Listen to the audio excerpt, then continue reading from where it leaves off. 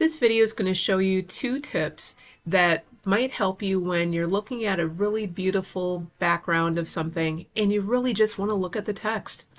So here I have this article from the New York Times. It's in the new style with images in the background and scrolling text. I just want to read the text, so what I'm going to do is use Chrome Reading Mode.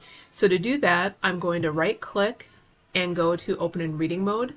Alternatively, I could go to the three dots and more tools in reading mode, and that's going to bring up a sidebar.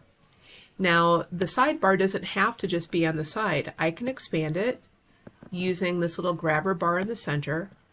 And if this text is too small or if the font doesn't work for me, I could change the font. I can boost the text size. I can even say I don't want to have these hyperlinks in the article and I can say I want to have less glare in the background or want to go into dark mode. You can also explore the formatting of the text and this makes it a little bit easier to focus depending on, on your reading needs. So that's one method.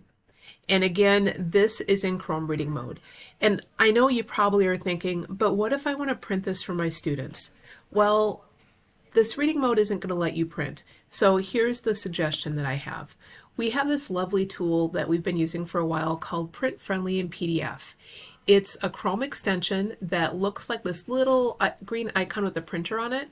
When I click it, it will give me the article and notice I could go in and like mouse over an image if I don't want to have it and click delete or I could go up to this icon right here and say I want the images to be small or non-existent.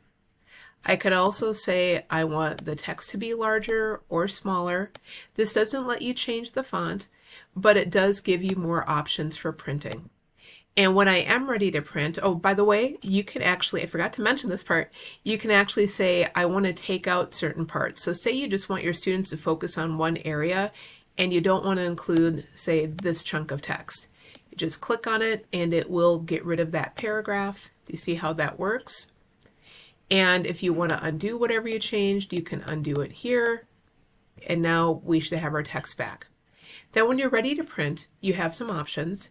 You can email the text, you can export it as a PDF, or you can click print and then choose whichever printer you want to print it to.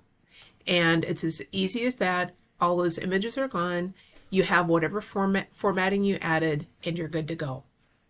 Let me know if you have any questions and I will link the print-friendly PDF um, extension address to this video. Enjoy!